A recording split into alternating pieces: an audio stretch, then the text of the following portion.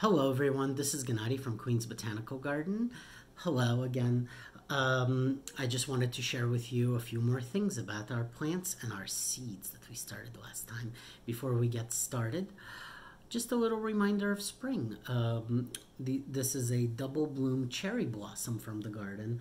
Thought that would be nice to take a look at something, and I always like having plants keep me company a little bit.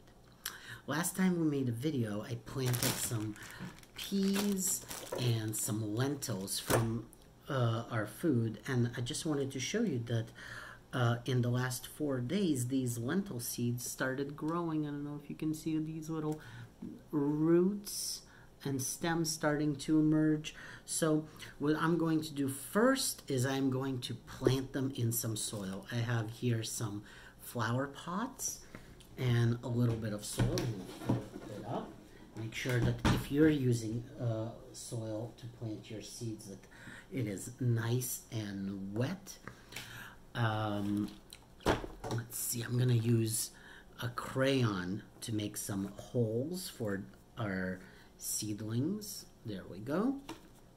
And we're gonna plop them right in. I'm gonna plant two lentils one, two, and I'm gonna plant two peas in the corners.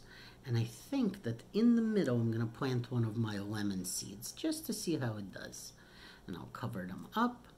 We'll see what happens next time. Now, if you don't have a flower pot at home, um, you can certainly use uh, a leftover container. Just make sure you poke or a grown up around you poke some holes in there. Let's see what can we plant in this one. Let's plant the rest of our seeds real quick. There we go. And I think I'm just going to kind of loosely put them on top and see what happens.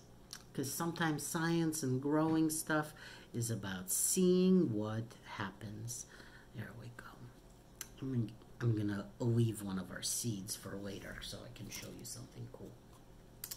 Now, I've always thought that seeds going from dry little seeds to sometimes huge plants is kind of a miracle. It's a very cool thing.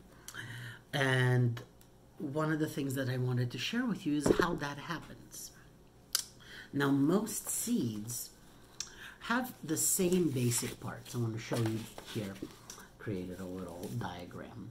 So most dry seeds, like for example this lima bean or this kidney bean right here, most of them have the same basic parts. On the outside they have this dry coat that protects them from uh, getting damaged. Inside the dry coat there's a little thing that's called a cotyledon, and that is sort of like the plant's storage of food. And next to that, I don't know if you can see right here in the middle, is the germ, the little embryo, the baby plant. Now, once you take that plant and put it on the ground or in water, this is what happens. these things happen almost at once. Let's see where my signs here. So the seed coat lets some of the water in, and as it does that, the cotyledon swells up with the water and makes cracks in the shell, which then slips off. And in the meantime, once that's wet, the germ starts taking uh, water from and nutrients from the cotyledon soil and starts letting out its root. And there we go. So that's what happens. And you can kind of see that how we started out with these teeny tiny little seeds. There's my lentil. Okay. And once the water got in them, they got a lot bigger. You can see right there. Now that might be challenging to see underground, but what we're going to show you in our next video is how to take a look at that outside of the ground. I'll see you in a little bit.